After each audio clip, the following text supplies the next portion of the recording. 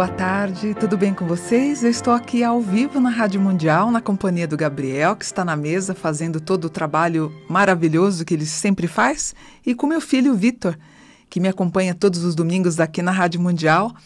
E hoje eu quero falar sobre o ano de Marte. Mas antes de falar sobre o ano de Marte, eu queria fazer uma correção.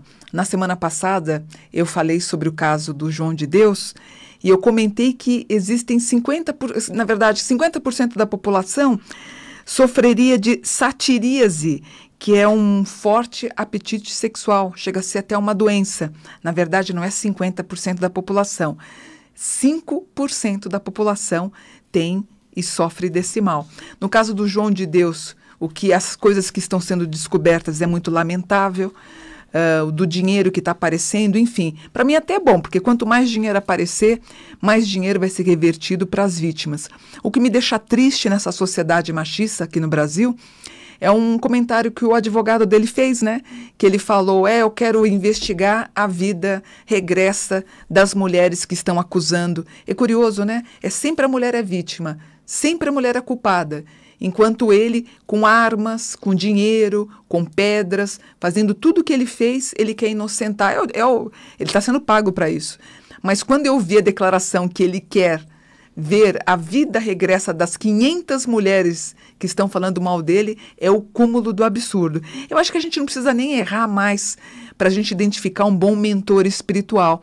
Eu fico imaginando se na casa do Chico Xavier a gente encontrar pedra preciosa, dólares, dinheiro, armas, não tem cabimento, né? Eu acho que a gente pode fazer um bom parâmetro em tudo na vida. Aliás, eu conheci o Chico em, poxa vida, acho que 95 e 96 eu conheci ele, ele me recebeu na casa dele.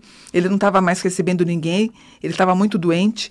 Quando eu entrei, ele olhou para mim lindo, lindo, lindo, tão, tão debilitado, tão bonitinho. Ele olhou para mim ele falou: Eu assisto a senhora todo dia. Eu fazia um programa na TV Bandeirantes. Eu fiquei tão sem saber o que fazer, porque você está indo para visitar, para dar um abraço no teu ídolo. E de repente, quando você depara com ele, ele fala: Eu assisto a senhora todo dia, a senhora falando de anjos. Me deu um, me beijou minha mão e eu, em contrapartida, beijei a mão dele. E ele me falou tanta coisa bonita, achei tão lindo tudo que ele me falou. E hum, no outro dia, eu fui para a TV Bandeirantes pedir demissão.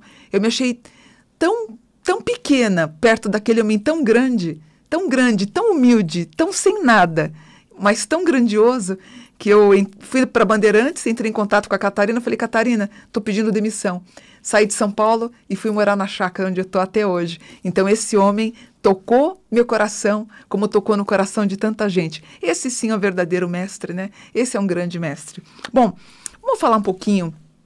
Eu quero ver se eu preparo, que eu, se eu venha falar então nesse domingo, e no domingo que vem eu vou falar, vou dar continuidade, porque um programa só não dá.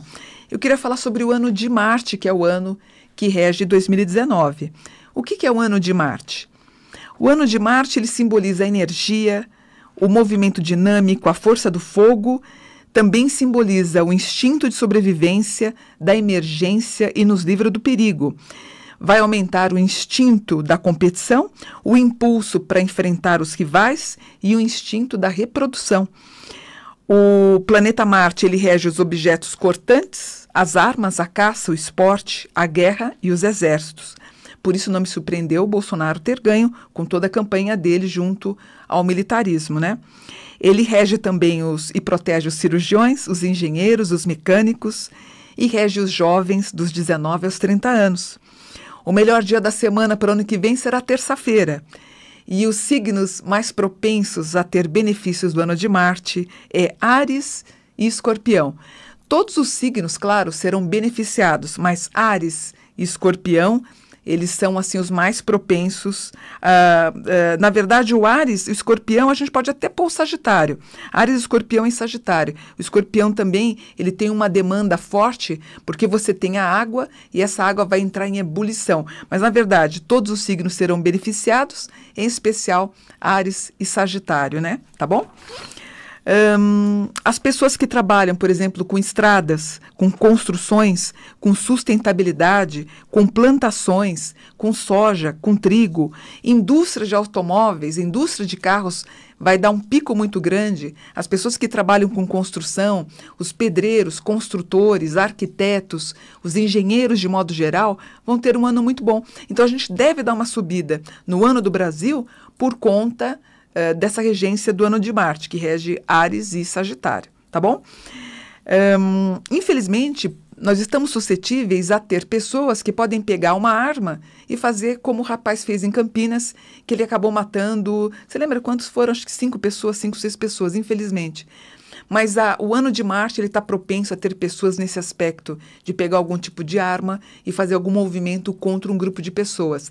Principalmente no mês de março e abril, a gente tem que tomar muito cuidado em escolas. Aconteceu alguns anos atrás na escola no Rio de Janeiro, nós estamos propensos a acontecer a mesma coisa em março, abril. Outra coisa que pode acontecer, as pessoas irem manifestar melhorias, reivindicar melhorias, benfeitorias também no ano que vem. Você vai ver de novo as mulheres indo para a rua para pedir por seus direitos, tá bom? Um, também um aspecto negativo do ano de Marte, as pessoas acabam se tornando mais materialistas e mais egoístas. O trabalho informal vai bombar. Então, nós temos hoje 11 milhões de pessoas que trabalham de modo informal, que elas vendem, às vezes ela nem tem nota fiscal, mas ela está na rua vendendo, ela está batendo de porta em porta, ela está fazendo aquele bolo brigadeiro, vendendo artesanato, vendendo alguma coisa. Vai ser um ano muito bom para as pessoas que também trabalham na informalidade. Outra coisa que nós vamos ver um aumento é um aumento de pessoas que devem sair do país. Um grande grupo de pessoas no Japão devem estar indo embora para o Japão e um outro grupo muito grande deve estar saindo do Brasil para tentar a vida basicamente e especialmente em Portugal, Lisboa, Porto. Então, se você tem a pretensão de ir embora, é, é uma nova vida que está começando. Pessoas que são que têm ascendência japonesa também devem tentar alguma coisa fora do país. E conforme o Bolsonaro está sinalizando, com a finalização do Ministério do Trabalho, né, que ele finalizou, ele incorporou em outro ministério, ele vai tentar reproduzir algo muito parecido com os Estados Unidos porque os Estados Unidos basicamente ele ganha por hora. Eu tenho clientes que moram nos Estados Unidos, eles falam, Mônica, aqui a gente não tem esses 30 dias de férias como, como tem no Brasil, ou eles ficam abismados com o número de feriados, a quantidade de feriado que tem aqui no Brasil. Pelo que ela me explicou, ela fala assim: olha, aqui é tudo por hora. Você vai tendo um, um credenciamento junto à tua hora que você trabalha. Para cada não sei quantas horas trabalhadas você ganha uma hora. Você acaba juntando tudo para ter depois suas férias. Eu creio que ele deve estar tá fazendo alguma coisa, mas é muito provável que para o ano que vem as pessoas não tenham tanto CLT, mas tenham tanto mais uma empresa PJ na qual você vai trabalhar, você mesmo vai se registrar, você vai pagar o, o, os seus direitos para depois ter as, a, as questões referentes à aposentadoria, mas provavelmente isso deve estar acontecendo para o ano que vem. Vai ser um ano bom? Excelente. Eu espero que eu, esque, eu quero, espero que o Brasil dê uma revigorada agora com esse ano de Marte, tá bom? Ah, antes de eu continuar falando sobre o ano de Marte, é, eu vi que vocês estão se inscrevendo no meu canal do YouTube. fiquei tão feliz. A gente teve um aumento de mil pessoas. Pode parecer pouquinho para mim, as, os meus companheiros aqui da rádio têm muito mais pessoas inscritas no YouTube. Eu estou começando, para mim, é um universo novo. Foi meu filho que me falou sobre isso. Então, eu tenho pouco tempo de YouTube. Do Face eu devo ter uns 5 anos, eu acho, 5, 6 anos no máximo, né? Instagram faz o quê? Uns dois anos só, né? Que eu nem conhecia muito bem. E a gente tem que aprender. Às vezes eu falo com clientes, uh, por exemplo, eu faço os meus atendimentos no Skype, a pessoa tem medo de baixar o Skype, é facinho. Pede para um filho, para um marido, para um irmão seu, ou vai na loja onde se vende celulares, por exemplo, ele baixa para você o Skype e a gente vai falar por telefone. Então eu consigo fazer consultas com pessoas que estão no Maranhão, em Porto Alegre, Tapejara é uma cidade que faz consulta aberta comigo, Rio de Janeiro, São Paulo, interior, uh, Goiás, Campo Grande, que mais? Campinas. Eu faço para o Brasil todo e também para o exterior. Então, até se você quiser depois entrar em contato comigo para ver o atendimento, manda um e-mail e manda suas perguntas também. Meu e-mail é m.buon@terra.com.br. E para você se inscrever no meu canal no YouTube, você vai escrever o meu nome, Mônica Buonfiglio, ou Editora Companhia dos Anjos, que é mais fácil. Editora Companhia dos Anjos se inscreve para você receber as notificações dos vídeos que o Jean ele posta toda terça-feira, tá bom? E o Instagram, para quem quiser me acompanhar também, eu estou crescendo bastante no Instagram, todo dia eu coloco uma mensagem de, de positividade, né? E muito gostoso, assim, eu coloco muito sobre os anjos, sobre os aspectos do dia a dia, das coisas que acontecem no Brasil também. Me segue no Instagram, é facinho, ó. Mônica dos Anjos, 72. Mônica dos Anjos, 72. Aparece lá, uh, me siga e você vai receber assim as notícias e hum, mensagens de, de coisas boas, principalmente dos anjos, que faz um bem danado para todo mundo, tá bom? Vamos continuar então? Vamos continuar então com regências do ano de Marte. E o que, que eu fiz? Eu fiz uma pesquisa para saber o que, que aconteceu nos anos de Marte.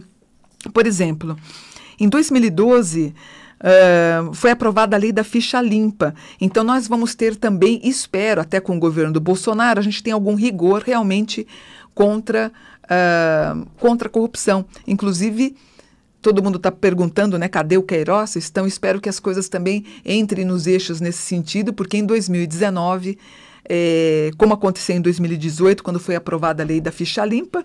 Espero que no ano que vem a corrupção caia um pouco no país. Infelizmente, em 2019, a gente tem projeções através da, do estudo do ano de Marte de incêndios. Então, o que vem acontecendo em Los Angeles, o que aconteceu em outros países, também a projeção é que continue. Em 2012, por exemplo, que foi um ano de Marte, um incêndio destruiu a base da Antártida. Antártida.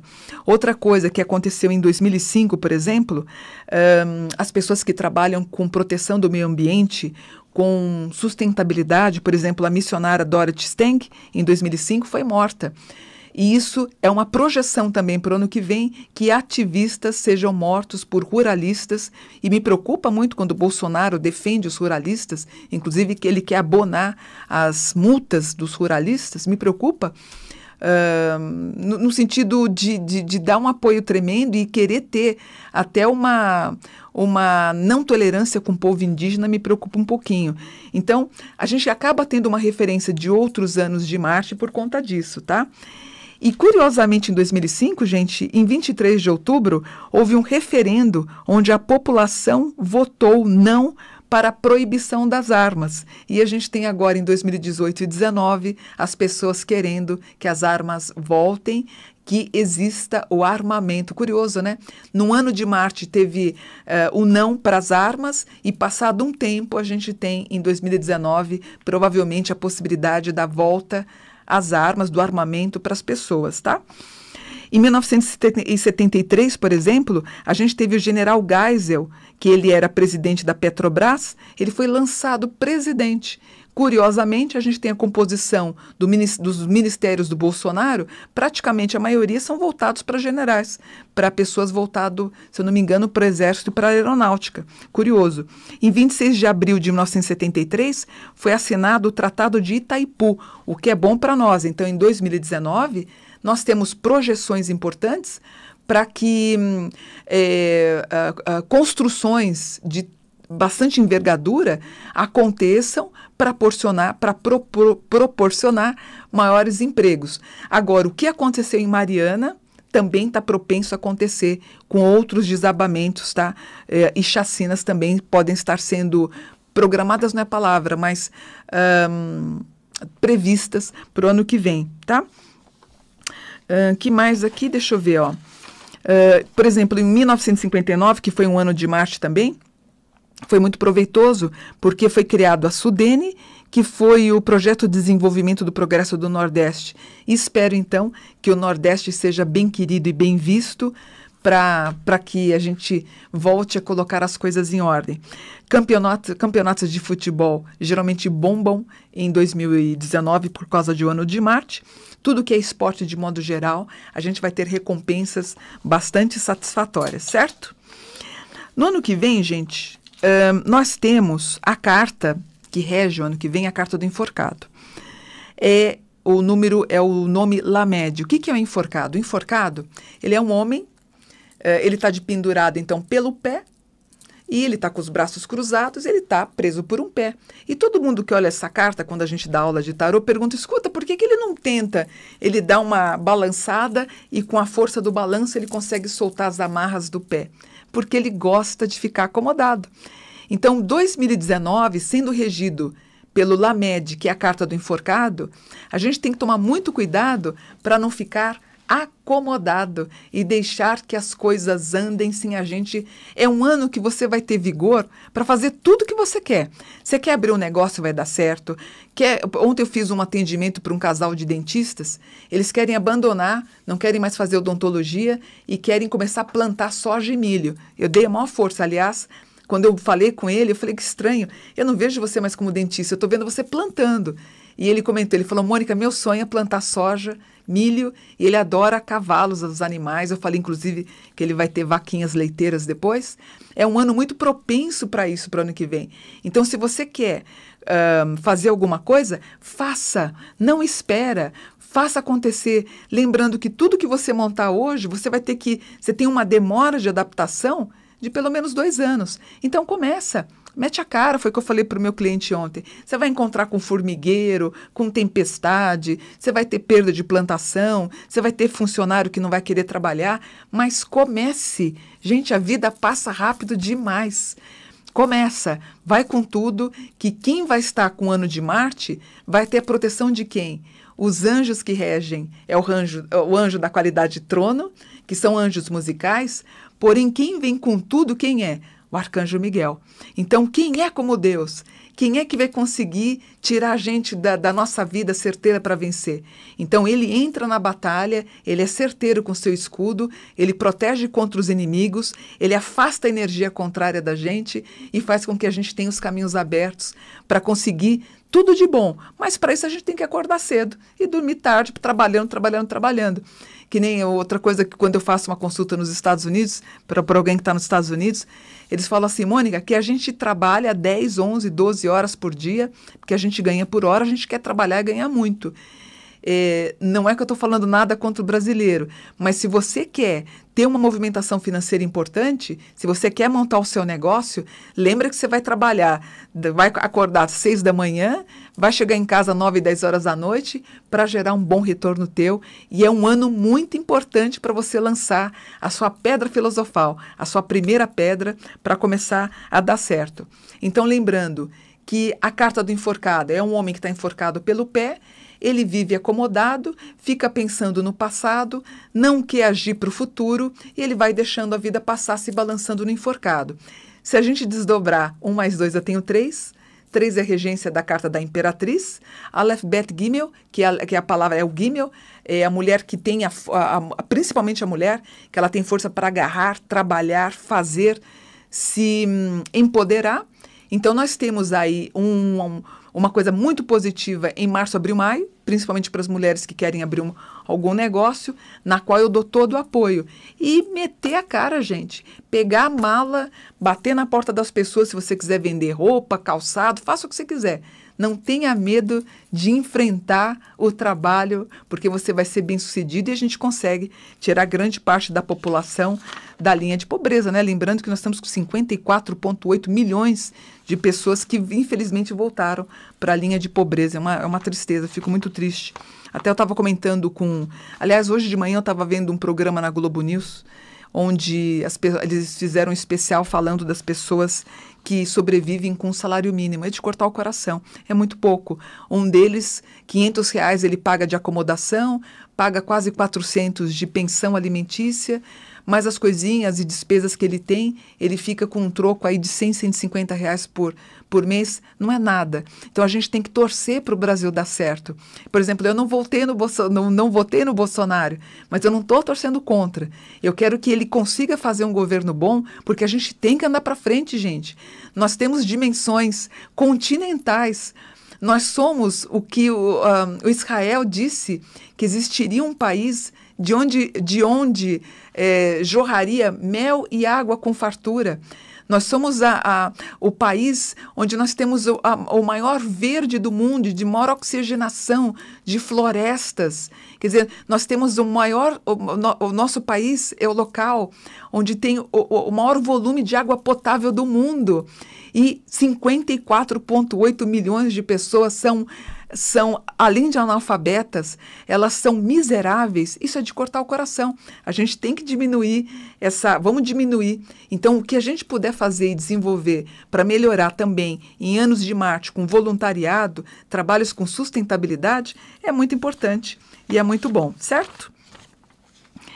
Que, quem é o anjo que vai reger 2019? Eu recebi alguns e-mails falando de Samuel, uns anjos que não tem nada a ver. Um, anjo que rege o ano que vem chama-se Auriel ou Miguel. Auriel ou Miguel. Auriel, ele é o príncipe dos tronos e Miguel é o príncipe dos arcanjos, tá? Ah, aliás, falando nisso, lembrei, eu na terça-feira, ou quarta, dia 26, que dia que é? Terça, né? Hoje é dia 23. 23, 24, e agora, eu tô, eu tô meio perdido, mas acho que dia 26, se eu não me engano, de manhã, estou fazendo um especialzinho para o pro programa da Ana Maria. Eu não estou com ela. Eu gravei uma participação aqui em São Paulo, outras pessoas espiritualistas também vão estar no programa. Eu estou falando sobre energia. Eu falei de energia dois programas atrás, né? E o que, que é energia? A energia, segundo Platão, é a tua própria alma. Então, quando você diz assim, a Ana Maria tem uma energia boa, na verdade ela tem o quê? Uma alma boa. Quando o Louro José tem uma energia boa, é porque ele tem uma aura boa, uma alma boa. Então, eu estou falando sobre isso, estou uh, desenvolvendo algo. Também falo das velas, do significado das velas, que eu vou falar na semana que vem também. Uma vela que é muito propensa e ajuda bastante para você, a vela vermelha, que é a regência do ano de 2019, e toda vela da cor vermelha simboliza o quê?